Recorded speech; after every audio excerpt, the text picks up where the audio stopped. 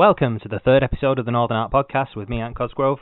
I hope you've enjoyed the two previous episodes, and if you've not heard them yet, you can go and check them out on Spotify or YouTube or wherever you get your podcasts. I've got various guests in mind um, for the podcast, but when I set it up initially, the guest that I've managed to get on today was somebody that I really wanted to speak to from the very beginning. In my opinion, he's one of the greatest living landscape painters in Britain.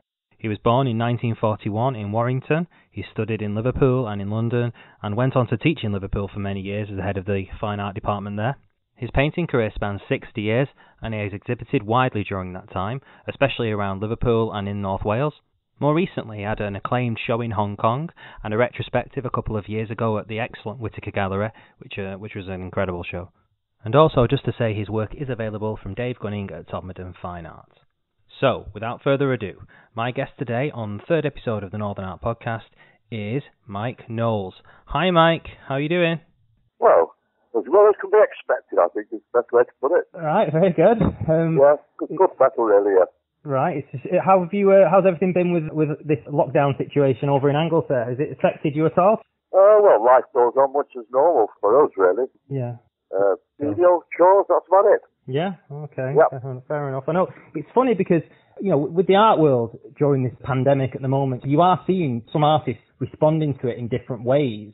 And I think that some artists are feeling like they have to try and respond to it somehow, you know, and that's and that's what they should do. They, you know, I guess like almost like a war artist might have done, um, but they're thinking, well, I need to do something to it. But then, uh, really, I, I don't really know, you know, I don't know how, you know, I don't really know to be honest with you. It's a funny sort of thing, isn't it, really? Um, but yeah, you're just carrying on doing your painting, aren't you? That's the thing. Well, I, I, I, I've never been uh, interested in issue-based painting, really. Well, that's it. That's it. That's true. No, no, no real interest in it. But, um, Yeah. well, you know, I do like to make transcriptions of other artists from time to time. I found myself browsing through Poussin, who's one of my favourite artists, Mhm. and just came across a very early theatre. Right. Uh, it just seemed it seemed to speak to me at the time, and a friend had just lost somebody, and I just painted a, a quick little version of the Poussin bit. So I suppose that would be my nod towards COVID, really. Right. Okay. So, Mike, um, you were born in Warrington. What were your sort of early days and early memories of? Um, when did you first become interested in art? Really? Well, I think I probably always had a sort of natural interest in it, really. I was, um, I lived on the outskirts of Warrington, but uh, Okay. My school and all my relatives so lived in the middle of town. It was a very busy industrial town in those days. Right. My parents were both working, and uh, my mother um, did office work for one of the factories, and so there was always a plentiful supply of typing paper to draw. Right. So I've drawn from my earliest days, really. Mhm. And the other great thing at that time was uh, we had a full set of Arthur Mee's children's encyclopedias, Right. which had lovely sort of uh, sepia-looking reproductions of all sorts of art. Particularly, I remember Michelangelo sculptures, uh, which I found very moving at the time. Right. I was a, a sickly child. Uh, I think most of the poisonous fumes that used to sort of hang around Warrington and Widnes. Right. Uh, so I spent a lot of time off school, and when I was 13, 14, something like that, um, there was a big Van Gogh exhibition at the Walker Art Gallery in Liverpool. The collection that belonged to the family, um, called the engineer, or I think it was a grandson, Right. or great nephew, um, Theo's son, before he left his collection to museum in Amsterdam, the now the Van Gogh Museum, Yeah. he sent his collection off on a world tour and it came to Liverpool. Right. Um, the art teacher took a little trip in to see it. Absolutely marvellous. Coincidentally, uh, a next door neighbour worked on the nearby American Air Base where we lived and had access to the library. And uh, because he knew I was interested in art, he bought me one of these Skira books on Van Gogh. So Right. the paintings I loved at that time of Van Gogh, which I remember most vividly from the exhibition after the book, were, the early ones. Hmm. Possibly the most gloomy in some ways, but the painting of the boots and the potato eaters and Yes, of course. a view across the rooftops in Paris, they were paintings that stuck in my mind. Yeah. Uh, Uh, but Okay. then, uh, at school, I, I stopped doing art at GCE level and then languished in the sixth form for year after year, getting worse results in my A levels every year. And halfway through the autumn term, the uh, the art master, who I'd not spoken to for three or four years, saw me sitting on a corridor and doodling in my jotter. uh, after what I was still doing at school. I said, oh, I've got do bloody A levels again. And he said, you should have gone to art school. How old is she then? How old is she? Uh, 18. Right, okay. And I said, oh, really? What's that like? What, what do you have to do to go to art school? He said, look, he said, I'll give you a letter. Take this to Liverpool Art School today and ask for a chap called Arthur Ballard. so I got the letter off him, jumped on the train into Liverpool in my school uniform, found the art school. The only work I had to show them were the doodles in this I was, I'd been drawing in. And uh, they said, oh, that's all right, you can start. I said, oh, when? He said, well, well now. So Brilliant. go upstairs, room 78, see Mr. Whiffen, and he'll sort you out. So I trotted up upstairs in my school uniform. This is halfway through the autumn term. Uh, round, found room 78, went in, found Mr. Whiffen, and then suddenly realised I was staring at a naked woman. Oh my God. uh, everybody else, of course, has settled into being an art student. Yeah. Not a mature student with beards and double coats and things. And he gave me a pencil and a board, a paper, and said, start work.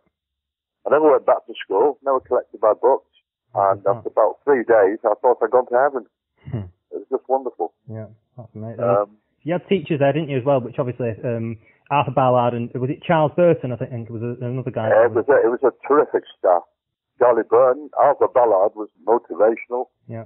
Charlie Burton, who was head of painting, was terrific. Uh, he brought in stuff like Peter Crabtree and Yeah. Heinz Koppel. Yeah. Um, Nicholas Horsfield uh, yeah. a, a lifelong friend, really. Uh, well, Charlie has a Charles, I mean, Charles, yeah, Charles, he's still alive, isn't he, Charles? He's still, he's still. Uh, playing. indeed, and just had his 90th birthday. Just had his night, right? It Fantastic. was superb. Yeah, I know Uh, there was an exhibition, wasn't it, um, at the Martin Tinney Gallery a year or two Martin back. Gallery, yes, And a new right. book. It's a very good book, actually, isn't it? I did get. I Yep. saw your copy and I bought it subsequently. Yep. So that oh, very good. So that was um, that was in Liverpool, obviously. So that was 1959 to 1963. See, I've done my Yeah. research, yeah. That- that- That's right, yeah. At the end of that course, we used to have an exam called the NDD, the National Diploma in Design. Right. And I failed that with the lowest mark in the college's history. Um, okay. So I got myself a job in a, a lemonade factory with the help of a friend I didn't know this. Uh, right. Okay. Yeah. and carried on painting and decided I would apply to the Royal College on the Slade. Yeah. And I was, I was, I think I was, I was rather a temperamental lad, you know. And, uh, Hmm. so when the stuff was due to go off, I'd made this big packing case and stuffed all the paintings in, but I'd decided it was so awful, I wasn't going to do it. And it hadn't been for my, my wife, who was my girlfriend at the time. Yeah. She finished packing the stuff up and got me to take it down to London, so I think I sent it to London to the Royal College. Duly got a letter back saying they weren't accepting me to collect the work. Right. I thought, oh, sod that, I'll, I'll take it to the Slade. Hmm. So I got the bus down to London, got to the Royal College, got the crate into a taxi, took it over to the Slade, and got to the Slade. It seemed very posh to me, the Slade. He have a beadle at the door with a uniform and a top hat and everything. And, Yeah. uh, he sent for the technician, the staff never came to life, so Michael, uh, he came and said, what do you want? I said, well, I brought my work. It's too late, it's closed. Well, bugger off. Mhm. Said, well, I've come all this way from Liverpool. He said, go on, bugger off, you're too late. So I got this packing case, started looking down, he says, where are you going? I said, well, you- he said, give it here. And he took it in for me. Right. Uh, the amazingly irascible Michael Holmes, he was, yes, he was a fine technician, but uh, most bad-tempered man you could possibly meet, but very kind. And uh, eventually I got an interview at the Slade, Yeah. packed in my job at the lemonade factory, Mhm. and muddled off down there. Had this strange interview, took a little roll of drawings in the inside pocket to show them they were looking at my work. And, well, they said, well, no, it seems you're a difficult student. Seems you don't take any notice of your tutors. Nonsense. I said, I just don't always agree with them. Uh, he said, well, you've got to pass this NDD to get a grant. So I went back to Liverpool and told them I wanted to uh, resit the NDD at the office. And Yeah. he said, I'm sorry, uh, you've got to go and see the principal. So I toddled off to see the principal. He said, oh, no. He said, yes. He said, uh, you've been a disgrace to this college. He said, not only do you take no notice of your tutors, you dress like a bloody lumberjack. So I stormed out, went straight upstairs to see Charlie Bird and said, what's all this about me not listening to my tutors? That bugger down there, he won't let us reset the NDD. Charlie said, oh, don't take any notes to him. He said, look, he said, you don't need to come into college. He said, just wait till the exam comes round. Yeah. Come in through the back door, do your painting, go away, and I'll see the rest of it. Right. So I, I did my paintings for the NDD. My wife came in and touched up the fingers and toes on my life painting. Mhm. Um, got my NDD and went off to the Slade. There you go. You were there from 64 to, well, you were there from 64, weren't you, uh, at that point? Yeah, Um, 64 to 66, I think, Mhm. yeah. so obviously at that time, the Slade was, I mean, you picked a, you picked a good time to go to the um, because of course it was, it was Coldstream, wasn't it there, I think, as the uh, sort of, I, was, I, I, I thought it was marvellous. I mean, first of all, you know, they, they just treated everybody very seriously. And, yeah, I mean, I've always been one way or another what you call a figurative painter. yeah, But they had the marvellous and varied stuff, but the, the figurative painters there were uh, Michael Andrews, Frank Auerbach, uh, Jeffery Camp, Patrick George, yeah. Euan Uglow, Uglow was there, yeah, that's right. yeah. uh, who were all terrific. And Kossoff as well, I think, as well, didn't he? Was on No, Kossoff never taught the Slade. Oh, right, okay, No. right, No, I came to know Kossoff in a, an entirely different way, really. right, okay. Um, we had a kind of student committee, I forget what they call it, some kind of art club, which invited other painters to come in and do a kind of crit. Mhm. And uh, we'd had two or three people. We had Hockney and Patrick Procktor came together. They rather camped it up, annoyed me intensely. Although, you know, they're both very good artists in their own way. Mhm. Or were. Procktor's dead. I said, well, I, I propose we invite Leon Kossoff. Yeah. And I managed to get in touch with him. Mhm. He came along and started off very quietly and, and then gradually took his jacket off and took his tie off and got stuck into all the painting.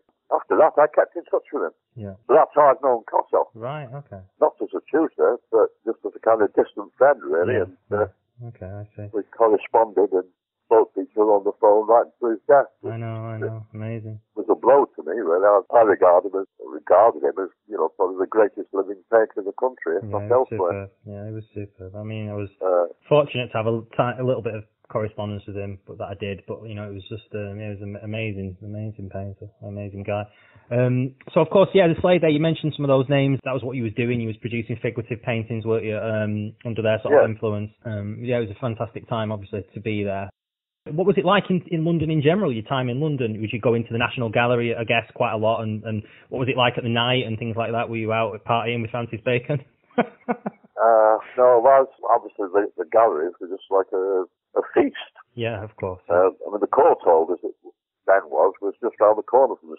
Of course, amazing. That's, to, that's uh, probably one of my favourite galleries in London. I love it. Yeah, but the old Courtauld was sort of had to go up in a lift to it in Mhm. a building just round the corner from the slade.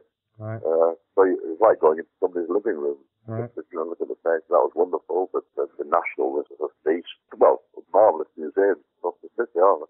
I mean, was, Uh, was that was that the time when you started getting more involved in um, sort of transcriptions? Because you you are you obviously you do you paint landscapes and stuff. Were you in the National Gallery uh, drawing and working into transcriptions and that sort of thing? Is that sort of I painted my first transcription at Liverpool right? Okay. because we used to have to do this thing called figure composition. hmm I didn't have a clue what was meant by composition. Well, well, what on earth can I do? I decided to start drawing from Cézanne, who I'd always regarded as being a sort of somewhat eccentric artist. I didn't really understand. Mm. Thought the figures had strange distortions and so forth. So I thought I'll sit down and draw from Cézanne. And the more I drew, the more fascinated I got. I then made a, a version of the Bathers, but done more or less entirely in black and a couple of earth colours Yeah. just got very excited about it. Around the same time, I'd seen an exhibition called Drawing Towards Painting, which travelled around art schools, came to Liverpool. Yeah, I think I, I think I looked into that. That was, that was right. That was um, early '60s, that wasn't it? That was around that sort of time, '61. Yeah, Mm. probably about the last year of my student life. Or anyway, it was awakening for me. There were wonderful drawings by Uglow, working drawings by Uglow, Albert, Michael Andrews, Yeah. Peter Kinley, Spotty Stevenson, who used to stipple stuff onto them. Uh, Mhm. was Interesting painters from Newcastle. It was a, it was an eye opener. How I mean, I'd never really understood, although I was kind of quite a um, conventionally talented draftsman. You know, when I, I'd get the, you know a lot of approval for being able to draw. Yeah. I never really understood the relationship between drawing and painting, hmm but that clicked. So by the time I got to the Slade, I then found I had Frank Auerbach as a tutor. I think he was a bit starstruck. Well, I wasn't particularly. I didn't know much about him. Uh, I think I'd seen one painting by him, but I'd seen his working drawings. And you had to elect somewhere to work at the Slade. So I always worked in the life room. The first room I went to, because he was my tutor, Mhm. I had my own easel. I, I lugged that in there. I had a board ready made up and all my paints, lugged them into the Frank Auerbach's room, Yeah. set up and started painting. And a couple of students came up and said, uh, you've not got your name on the door. What do you thought? I said, you have to, you have to get your name put on the door before you can work in here. I that's nonsense. I'm in the middle of painting. Just leave me alone. So, anyway, the tutors used to come in one or two days a week in those days. Yeah. Um, after about three days, Frank Auerbach strolled in, came and said, uh, excuse me, what are you doing? Oh, well, obviously I'm doing, I'm painting. He said, yes, you haven't got your name on the door. I said, yeah. I said, but I'm painting. He said, I'm sorry, you can't paint in here if you've not got your name down on the door. What am I supposed to do? He said, oh, he said, I'll, I'll try and find you somewhere. Let's go see Mike Andrews. He might take you on. So he wheeled me around to Michael Andrews' studio, which Michael was there. Yeah. And he said, oh, yes, he can come and paint with me. Which I did. Yeah. And he, he was terrific. Yeah. Fantastic artist again. I visited his studio once and he was painting a big painting called Good and Bad at Games. Huge painting. And he was having photographs screen printed onto the canvas. Right. So the studio was all blacked out. Then working into them. And it got these torn strips of newspaper, so thin strips, so they were left blank after the screen printing. And those slivers of white then became slivers of figures that he painted in, drifting down these London streets. Right. Fascinating painting. Right. Uh, well, a little digression really. Yeah. Going into his studio, there was a little sort of vestibule area. And in there was this crazy looking painting. Uh, that painting. So we, I was in there admiring this good and bad at games painting and asking questions about his painting. What about this strange painting? What on that? Oh, he said, well, he said, you know what it's like? He said, I like to go out for a drink, he said. And he said, I usually come home pissed. I think I know exactly what to do with the painting. He said, I've ruined so many paintings doing that. He says, I've now got this painting, so it's the first one I see. so if that's the one I paint when I come back from the pub. Brilliant. I don't think that will ever got in, No, no. the public. yeah, I wonder what happened to it.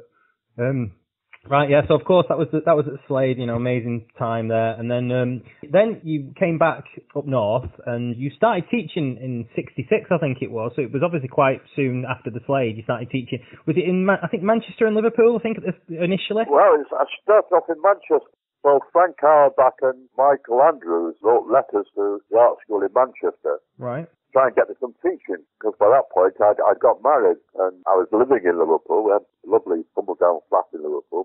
I got interviewed by Norman Adams to for a painting job in the fine arts department, hmm and he just poo-pooed my work. He said, I'm not interested in Slade painters. Uh, I don't like all that gloomy Slade painting. My stuff are all low college. Uh, uh, they'll eat you alive. So, all right. God knew that. right. But so there came out a chap called Norman Rowe, who was a friend of Michael Andrews Yeah. in the contemporary. He was waiting for me outside and he gave me an interview and gave me a job immediately. He Hmm. wasn't the head of department, but he got the old case from a chap called Hoverstaff, who used to be head of department, Right. Okay. on the foundation course. So my first teaching was a couple of days a week on the foundation course in Manchester, Yeah. where Don McKinley was teaching, Right. whose work I knew. Adrian Henri had done some teaching there. Well, lots of quite interesting people there. hmm So I enjoyed that very much. And time went on, I thought well, I'd, I'd go back to Liverpool and see if I could collect paintings I'd left behind when I was a student. Yeah. So I, on one of my days not teaching, I went into Liverpool and Charlie asked me what I was doing. And I told him, he said, "Oh," he said, how'd you like to do some teaching here? I said, well, yes, that'd be good. I wouldn't be far to travel. So I got two days a week from him and two days a week in Manchester. So I was now doing four days a week teaching. It's more than I needed, really. That's perfect. Yeah. And uh, at the end of the year, they got me to apply for a full-time job at Liverpool, right. which was much better because you actually, in those days, you did about three and a half days actual teaching Yeah. because they recognised that you needed time to paint. You know? Yeah. Oh, perfect. It was worth That was wonderful. I used, I, I set up a life room there, or took over one of the life rooms, and Mhm. worked alongside the student. Um, I was I was going to say that because of course in the 60s whatever what's going on in the world at that period is you know it's pop art and because you're obviously a massive advocate in life drawing and in the life classes was that something that was a struggle to get people more wanting to be involved in that or was it uh, didn't seem to be. All artists use their eyes and look at the world around them and uh, course yeah the human figure. And you know, I'm not, I'm not sort of, I'm not somebody with a sort of bigoted view of what Yeah, of course, should yeah, be, or of course. be. I mean, I, You know, I, I, I like all sorts of things. I'm interested in all kinds of painters, really. Yeah. hmm There were some marvelous students, you know. It's just, it's just a joy to teach there, to work alongside them. And Yeah. the whole thing about a life room is, you see, that you're all occupied in a way doing the same thing. It doesn't matter whether you're a teacher or you're a mature student or a young student. The problems you all face are, are in common, and you can learn from each other.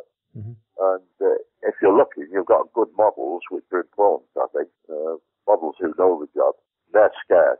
Then it becomes a very uh, integrated kind of activity, really. Yeah.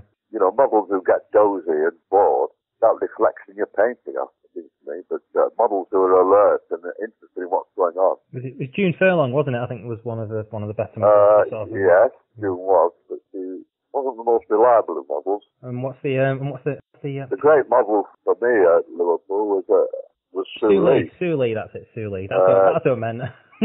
that's what I meant. I've got a picture of. I've got um. I have got one of you. I think you have. Uh, you have seen it. It was a little study. Um, a little live drawing Yes, study. right, yeah. yeah. It's quite an early one. I think I managed to get. Uh, Well, I I paint, painted and drew her hundreds of times really Yeah. after suppose over the years. yeah. Very And good. God bless her, she's still alive in uh, in a care home in Liverpool. Right. Is that uh, right? Okay. And she, she's had COVID and Wow. recovered. She must be into her, well into her 90s. Right. No, she's a remarkable woman. Yeah. Yeah. I didn't realise she was Remarkable. alive. Right. Some of the students who went through that period, I mean, they'll, they'll tell you what an amazing model she was. I mean, Yeah. uh, about that time, where John Virtue came to teach for Yeah. a year. He was a very influential teacher, Right. Okay. terrific draftsman. Yeah. But there aren't many people whose drawings I, uh, I, I would, you know, really doff my hat to, but bloody hell he could draw. Right.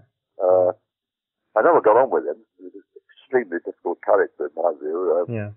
We, we tried to get on with each other, but it didn't really work. Mm. And he, uh, he eventually sort of, uh, disappeared with, uh, with one of the students who Right. he spent the rest of his life with, I think has done, you know. Well, there you go. Far as I know. Yeah, he's done done very well for himself, hasn't he? I think he's he's done. Uh, yeah. But to say, he, he, he left before the end of the year in those strange circumstances, really. Right. Okay. So, so Well, this this point, Mike, you was obviously you was um you was teaching Liverpool and painting still. You had a studio at uh, Bridewell. Is that right around that period? Was it in the late sixties? You set your studio up there, or was it before then? I, I, well, it's, later I moved to the Bridewell, really. Uh, Right. I was, I had a big tumble down flat, uh, in one of the parks in Liverpool and I had a little bit of time off because my wife was ill. And, Okay. uh, when, I- when I came back, uh, the building had been damn near demolished. right. get my top floor flat, I had to go up a ladder. The building was being renovated. The landlord had decided to take it into his own hands and do it. So I was stuck for somewhere to move to. I had a couple of odd rooms around the, around the Sticknall Stadium, but uh, somebody, uh, another member of staff uh, was part of the Bridewell, which was an old police station, hmm and he got me a studio there. So I kept that for, for many years, long after I finished teaching at Liverpool. Yeah, for people listening, the Bridewell is a studio sort of space in Liverpool um, for many, many years, and there's a lot of you know Liverpool artists who've used it. Over, uh, there could probably be a book written about the Bridewell, I think, and there probably should be uh, at some point. Um, so then um, you're in Liverpool, and just to follow that on now, you've um, you moved to Wales, didn't you? Basically, that was in sort of late around '69, I think it was. How did that come about? How, what made you sort of up sticks? And you were obviously Well, a friend of mine was, was Peter Prendergast. ah, that's the man, yeah, Uh, we'd known each other at the Slade. yes, He was a year or so behind me, I think, but Right. uh, we arrived there at the same time Mhm. and got on immediately. Um, you know, we're both fairly working class background, and yeah, he was very keen on his rugby, and Hmm. I liked sport as well. And uh, so we were, I think we both were kind of outsiders really at the Slade, and, but Right. we, you know, we, we became good friends. And after he finished at the Slade, he, he went on to do a postgrad at Reading yep, and he was looking for work and he'd moved up to North Wales. He'd saved up some money and bought a very cheap cottage in Bethesda knew that Liverpool were looking for part-time staff, probably about the same time that John Virtue came, I think. right. Uh, Peter came up for an interview and got some teaching in the fine art department and also on the foundation course. right. He rang me up from Wales one day and said, uh, I'd, I'd been thinking of moving somewhere into the countryside. Yeah. By then I had a, a young daughter, hmm another one on the way. But anyway, he rang me up. He said, "I found, I found your, I found your cottage, Hmm. six hundred pounds." I thought, well, out here this weekend. He said, have a look, see what you think. Yeah. So I, I packed the, uh, I packed my, my wife and daughter uh, into my old Land Rover and drove out to Wales, found Peter's cottage that he was living in. Yeah. He said, well, he said, uh, he said, I've got some bad news. I said, what's that? He said, I've bought the cottage. okay. Oh, you started, he said, but next door's for sale. Right. So he took me out there to see it. He bought this little single story cottage on one end of a group of three cottages, halfway up a mountain, thousand feet up.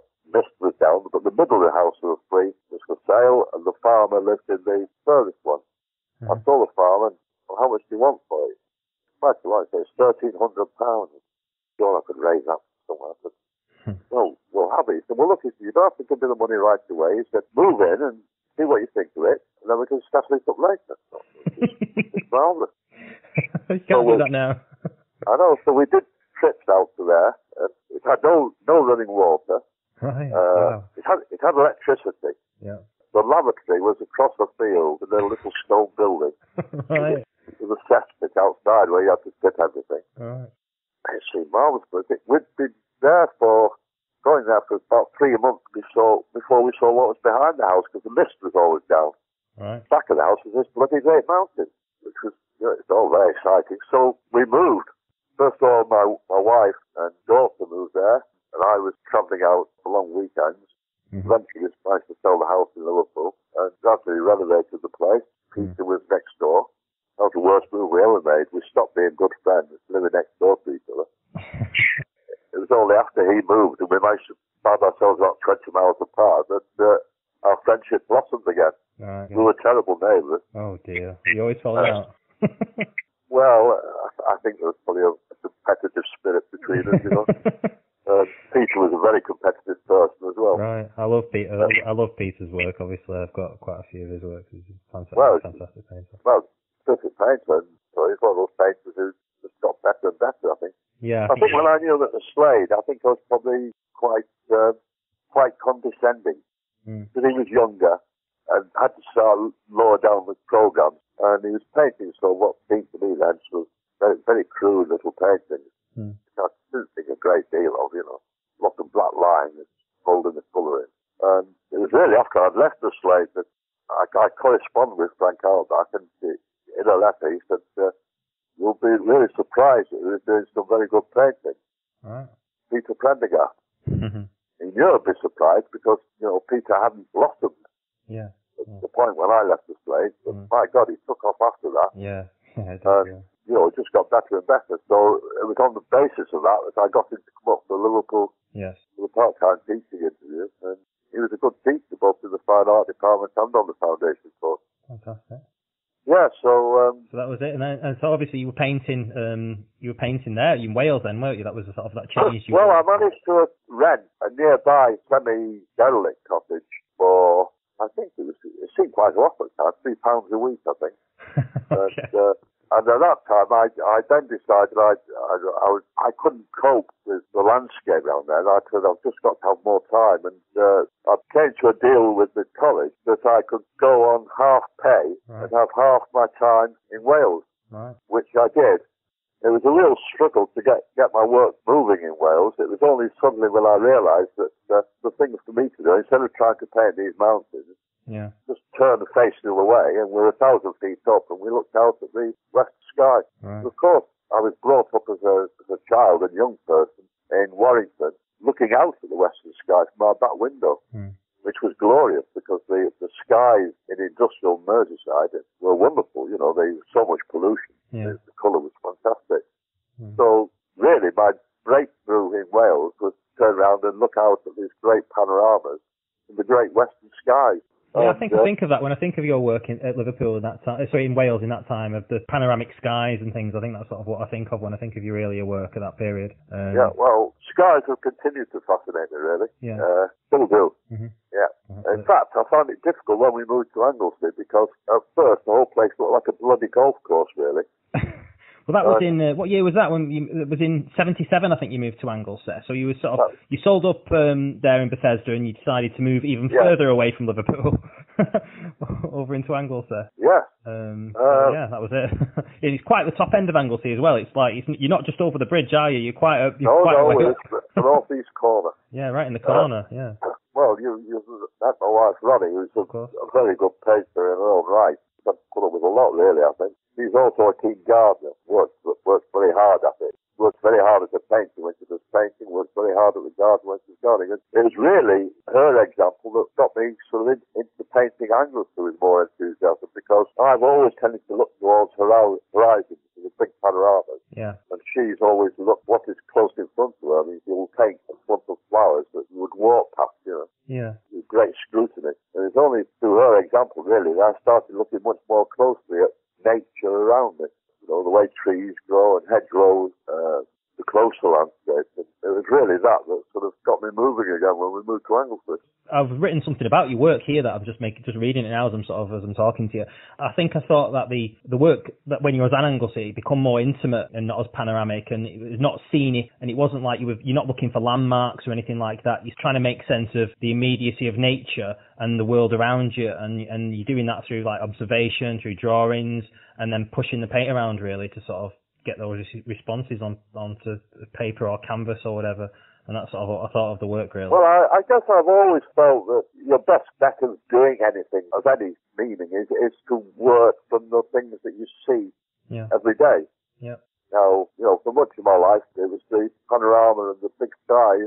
That was even in Liverpool. And Liverpool's that kind of place. Of course. But I, Anglesey, that I, I found harder. But, you know, gradually, I mean, walking down the fields every day and getting the feel of things, and then drawing. I mean, drawing is essential, I think. It, Yeah. It's, uh, well, well I, I didn't say this, but, uh, what is the, uh, the drawing is the probity of art, hmm which I think is a, is a, you know, it's a lovely diction. That, that's the key to everything, I think. I rather object to the fact that, you know, people think that drawing is important or that drawing is about waving laser beams or whatever, you know. But to, to me, I mean, the, the simple act of looking and responding with a, a mark-making implement in your hand and a, a piece of paper or whatever to, to draw is as basic as decent gestures for the human experience. hmm No, I agree, Mike. I, mean, when, Absolutely fundamental, you know. When I've been obviously when I visited you, um, you can you you point out little things. You pointed out little things to me that you've that you've painted and that you've drawn, and it's all within like within walking distance of where you live. You're not you're not a painter perhaps who's who drives out 100 miles to go and paint something that you might only see once. At, you know, and you'd rather paint something and draw something that you've seen every day and that you can respond to constantly over time, over over years, over seasons. Certainly, seasons I think are quite important to you. Um, Absolutely, absolutely. But familiarity with place. I mean, every year for best part of 20 years, I travelled down to the River Wye yeah, for at least a couple of weeks. yeah, So that, uh, always to the same place. yeah, It's an area I'd always felt a lot of affinity with. Uh, you know, I'd known it since being a very young person, really. hmm You know, so that worked. I mean, going back to exactly the same place all the time. yeah. That was And I tend to visualize painting of scenery as Right. such, you know, sort of, of course, the great opposite to that is Turner. mm, You know, we travelled Europe hmm looking for great subject matter, you know. Got fed up on this, one of his Welsh visits. yeah. He came work to Wales. didn't he? he came to Wales a couple of times, I think. Yeah, yeah, absolutely. Yeah. Hmm. Got fed up because there were no storms. The weather was too nice when he was here. Uh, no, I mean, Turner, Turner's absolutely marvellous artist, but Yeah. uh, I mean, the opposite would be an equally marvellous art, artist, Constable, yeah, yeah. Constable. who painted what was on his doorstep Yeah, absolutely. for the most part. Yeah, I love his the skies of Constable and that. Out of this work. Yeah, Incredible. yes.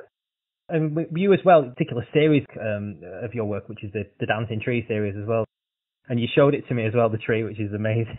Yeah. and it's just this particular tr- twisting sort of tree that's um, that grows in like you- in the field near you, and um, yeah, it's amazing. I love the, I love those paintings. They're they're fantastic. It's Yeah, it's, a, yeah, it's an amazing tree. I mean, it's just a, a twisted morphone. That's right. That's it. Yeah. It's very difficult. Every, every so often the, uh, the telephone people come to trim all the trees Right. because they affect the telephone wires, you know, rubbing against them. So I always have to protect that tree. yeah, it's an important tree that. I think all trees have anthropomorphic qualities, really, you know. Mm, uh, yeah. so there's like another little horse on the way up. yeah. That one, which always interests me. It, it feels more like uh, more equivalent to my stage of life. It's rather a decrepit, sort of struggling kind of tree, you know. I mean, I left to my own devices in an ideal world, I would paint people a lot more than I do. Right. But I can't get people to sit for me. Mm. Or perhaps I'm too nervous to persuade them. I don't know. But, uh, you know, I've, I've actually always enjoyed painting the human figure, you know. And, uh, not do- necessarily conventional You've done a lot of self-portraits, haven't you? Uh, Yeah. You do your self-portraits regularly. Well, I try, I try to do at least one self-portrait a year, possibly two, you know. Yeah. Just as part of that thing of watching yourself aging and changing, you know, it's, it's quite interesting. Yeah. Uh, and you, you know, you always got marvellous examples. Of course. Nice to have those. Nice to see them. I, at- I was looking well- at one in one of your catalogues from the 60s, from the early 60s, which is a very nice one. And then, like, literally a couple of weeks ago, saw one that you'd done very recently as well. So you retired in 91. That was to concentrate more on painting. I don't know if that sort of sounds right. But you were still involved in education, um, and you were developing fine art courses in Liverpool and Bangor. Um, I, I didn't invo- I didn't intend to be continuously involved. I mean, uh, uh, they let me wind down gradually from Liverpool. Uh, right. I mean, I'd, I'd, I'd got to the point where, you know, I was having to do very responsible jobs, which I hated doing. Yeah. Oh, I suppose I must have been okay at them, but, uh, you know, having, having to deal with people, well, you know, for example, somebody with alcohol problems or Yeah. uh, somebody not doing their job properly and that kind of stuff, uh, it depressed me. Yeah. Um, so I, I was glad to be able to get out when there was a, an offer of, um, I was about to resign. Right. Uh, but then one of these offers of early retirement came up. Mm. So I, I grabbed it. And they got me to stay on for another year part time. Mhm. So I, I did a couple of days a week for, for another year. And then that was it. But uh, when somebody at Bangor University found out that I was free, uh, got me in to advise Bangor University on the idea of setting up a fine art course Right. or really to look at their continuing education programs, and that's all they got to do, which was the old, um, you know, the universities to have these extended programs, didn't they, for, for the wider community. Yeah.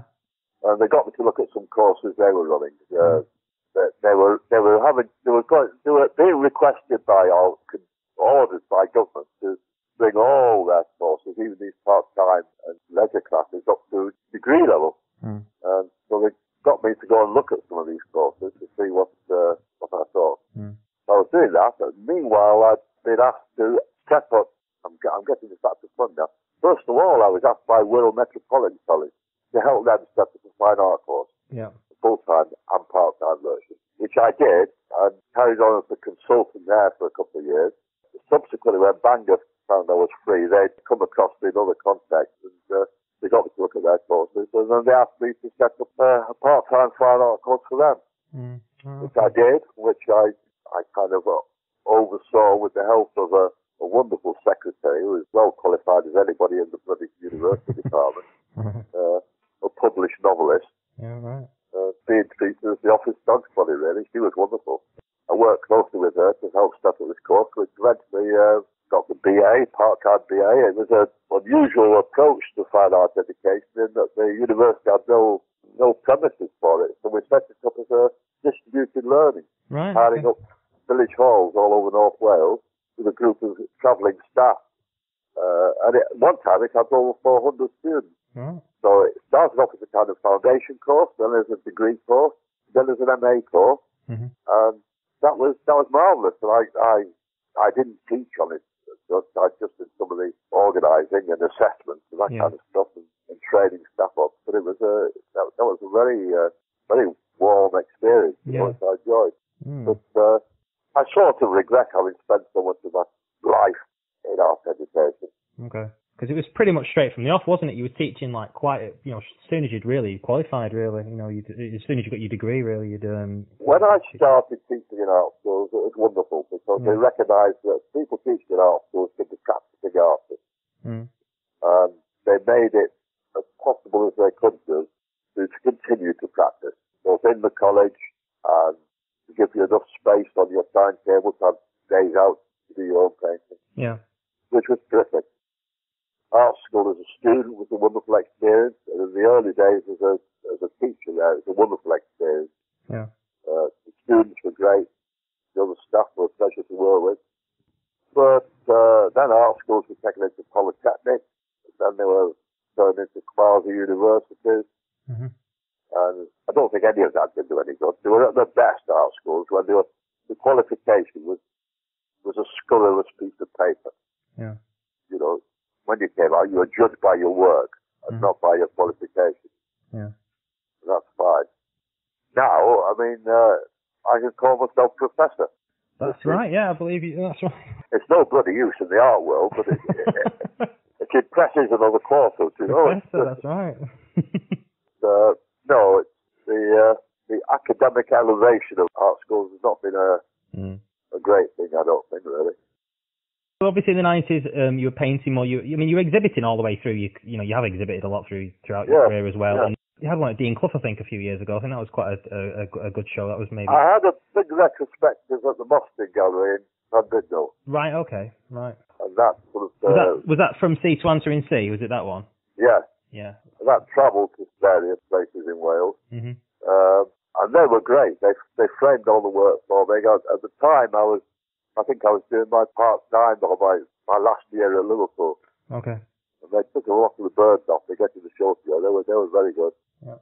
And then uh, Yeah, Oh, some, of your, some of your work is very large as well, isn't it? yeah, um, so heavy, very heavy and large Yeah, painting. bit heavy some of them. Yeah, That's right. but I had various retrospective exhibitions or so-called Yeah, retrospective. you had to that, you had to meet the one in Hong Kong, didn't you, a few years ago, the Muses one? How did that sort of come about? How did that happen? Well, my wonderful model Stu Lee Yes. had a son, Greg Lee, Okay. who I've known since he was a boy. Yep. and he went on to become a distinguished academic. Mm-hmm. So he he's probably quarter Chinese. I think he's probably half Chinese. Right. He studied Chinese law, uh, went on to become quite a quite an important academic. He, Yep. he ended up in Chicago. So, oh, he got me over to Chicago to do a lecture, the annual Moody lecture in Chicago. Right. That was an experience. I mean, I I always busk these things. I don't go along with any preparation. I, I just like to talk off the top of my head. On that occasion, I nearly froze because uh, it turned out they were filming the lecture. right. I had to I had to write a script for them, which they then installed in the university library, and it was only how to get paid as well. So when I went to deliver this lecture, I, I was introduced and going through the uh, the previous Moody lectures. Well, that completely unnerved me because they're all names I knew, not Right. artists but poets and all sorts of people. Right. I was, I was quite ruffled there to see them to give them a, a, Hmm. a lecture on Richard Sharp and broke off to give them a lecture on the benefits of free education. Right. Because all the students there were, uh, you know, having to work at McDonald's and pay their fees. Yeah. So I thought it was terrible. Of course, we get used to that here now, don't we? Yeah, absolutely. So how, what happened with the Hong Kong one then? How did that sort of come about after that? Well, he went from Chicago to Hong Kong. Right. Got Ronnie and I, we did this exhibition in Hong Kong together. Okay. Yeah. Uh, my wife Veronica. That was a joint exhibition. Yes. that was marvellous. I mean, they, everything was crated up and flown over there, and we were flown out business class, Yeah. seated wonderfully, and uh, Yeah, the work's amazing. These are the, so it's the muses, isn't it? Is the actual is the is the uh, well, that that was part of the project. They, they, they wanted us to do the exhibition, but alongside that, they wanted me to do a series of paintings, all the transcription of the of the muses to hang in the uh, in the new new department that Greg was set up there. yeah which I did, and uh, so it was all fine. But eventually, uh, Greg moved on. He's now in France, uh, Lyon, uh, and they then told me that the the department he'd set up, where these the muses were hung, was being closed down, and they proposed to distribute the series around the rest of the university. hmm well, I said I wasn't particularly happy about that because they were meant to be seen as a suite of works. yeah. So he very kindly threw all the things back to me. Oh, very nice. Right? and I, was unpacking them here when I had a visit from uh, a chap called Terry Mulligan, who's bought a lot of my work. Yeah. God bless him. He's, uh, Yeah, I know Terry. He's bought quite a, quite a hefty collection of my work. And Yeah. uh, he came when I was unpacking them, said, what did I propose to do? Whether I was to try and sell them. I said, well, not really. I said, because I want to keep them together as a, as a suite of Yeah. drawings and paintings. He said, well, well, I'll buy them. And so he, he got the lot. There you go. Uh, and he's, you know, he, well, he's a good chap. He's got, he's got a fine collection of paintings. Of course, yeah. much of mine. He's a he's a very good collector. That series, of course, um, which I have seen, uh, you know, Terry obviously has them all together in, in his, you know, in a, which is very nice. And of course, that was um, th- those works were shown weren't they, at the Whitaker um, in 2018. That's, that's Yes, they were. Yes. yeah. So that was uh, that was in that exhibition a couple of years ago, which was a really good exhibition. That was Well, that that year. that was- exhibition was Terry set the exhibition up that's right. Yeah. Because I had more or less decided I wasn't going to do any big one-person exhibitions Yeah. in public space anymore because they're, they're exhausting and Mm. you know you don't get anything back in terms financially very rarely. Yeah. But he he organised the whole thing and prepared the catalogue. Yeah. which He did a good job on as well. Yeah. And made it all very painless. So they, they came here and collected work from me here, hmm which I thought was going to be just one or two pieces. Yeah. But when they came, they, they took a whole lot more. So the exhibition was half Terry's collection and half work from my own collection, Yeah. plus the plus the the Muses transcription. It, that year, 2018, I think it was. It was definitely my favourite exhibition of the whole year. It was it was brilliant. It was um, the launch. It was. A, I remember it being a really sunny day, and and uh, Yeah. it was. A, it was just it just went brilliantly, didn't it? The whole, I went back about. I think because it's not too far from where I live. I went. I think I went back about three or four times to see it after that. Um, so yeah, it was it was it was amazing. It was a really good show. That. Um, well, I, I was I was delighted with the venue. Oh, it's a Uh, it's a fantastic place. I mean, I, I know uh, there's, there's investment going into that that building at the moment, and there's sort of there is things happening there. Richard Fitton had his exhibition there um, Yes, uh, last year as well, which went which went really well, and I think it's a fantastic gallery. I really I really like it there. no, they, they've done a great job there. Yeah, credit. I, I, I don't know if Jackie Taylor knows, but they're still there. But uh, Mm. They they were working very hard to Yeah, yeah. with the staff there. You know, Because it was it was on the verge of closing, I think, at one point as a as a as a place, and they sort of you know they pumped life into it and kept it going really. So it was uh, a so No. fair play to them. they've done a wonderful job. You know, mm. and it, as well as the gallery space. I mean, they've got this museum of curiosities, haven't they? Yeah, that's true. Yeah, they've got a lot of taxidermy and stuff. It's obviously just the inherited collection of um, Yeah. over time, but it's, uh, which, it's which I love. You know. yeah, no, it's good, and hopefully when it extends, Splendid restaurant there. No, it's well worth a visit. Is that place? Definitely, definitely. So just quickly to talk about um other people because we've talked about I think most of like your career now. I think Mike up to date. Um, your daughter's an artist, is that right? I think is that is that right? Your daughter. Uh, but, but both my daughters are artists. Both uh, of them, there you go. and your wife, and you.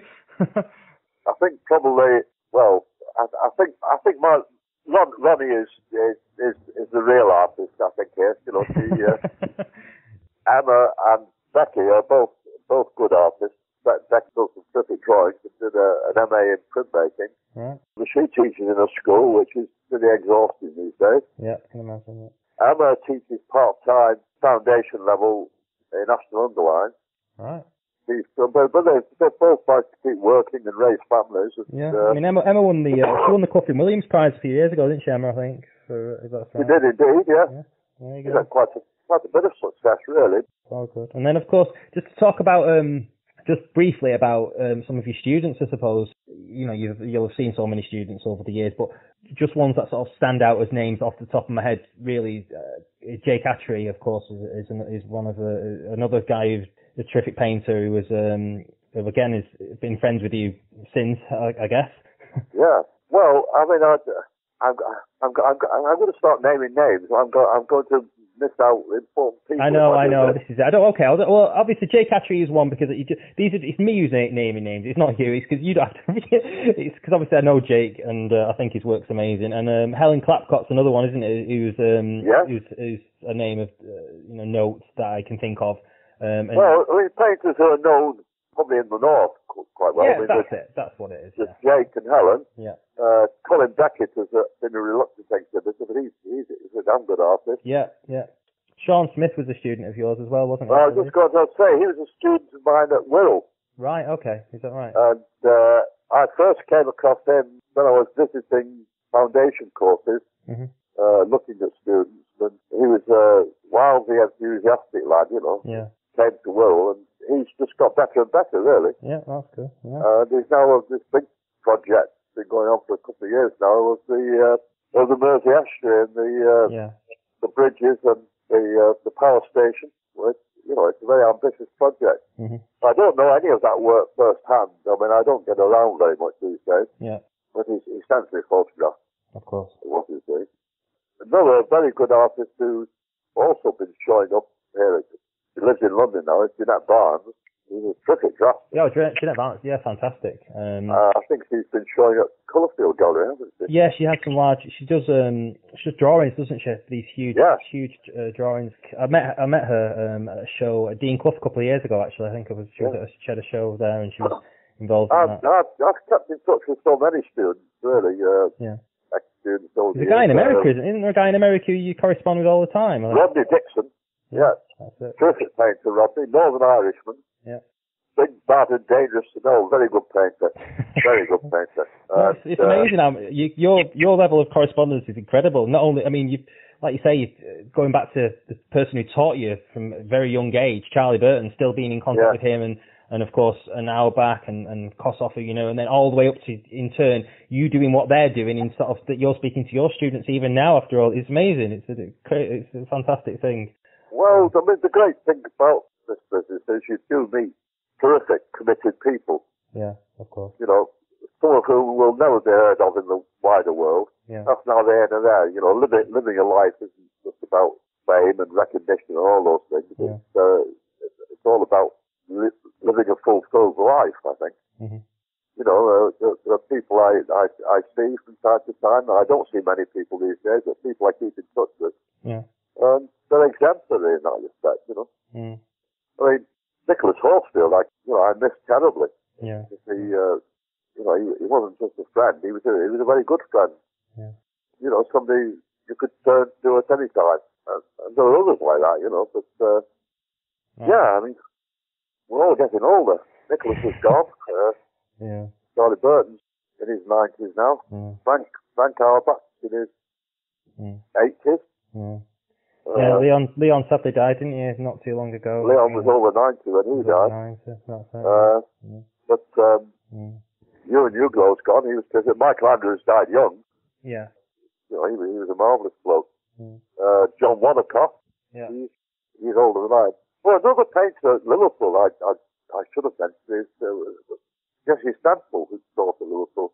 Right. I'm still in touch with Jessie now. She's living down near Reading now. That's, that's, that's, she's a beautiful painter. She's, I think she was quite close to Patrick George Okay. artistically. But her paintings have something of that architectural quality that the best of Patrick George has got. Mhm. Uh, of course, he's gone now. Yeah. I know. Well, we don't want. To, I don't want to be ended on this depressing note, Mike. um, but what, one thing, one thing. This is just going back to the beginning. This now a little bit because this has just sort of sprung into my mind. You told me once that, um, and this is totally going off on a tangent, really. That Frank Auerbach said something to you about L.S. Lowry. Is that right? Is that does that does that ring any Yes, bells? yes. Well, tell I me that tale. went, Tell me that tale. Go on. well, when I first went to the Slade, and I had to meet my tutor. You know, I think it was uh, my first meeting or or an, an early tutorial. Yeah. He was asking me which artist I was interested in. Um, I, you know, mentioned lots of people, but uh, I felt I, I, I thought it, it would be a provocative thing to say. I said I was, I admired L.S. Lowry, Yeah. and he said, "Oh, so do I." He's a bloody good painter, there you go. which I was, I was, I was quite shocked by because, you know, he, he's not a painter you you think as having uh, yeah.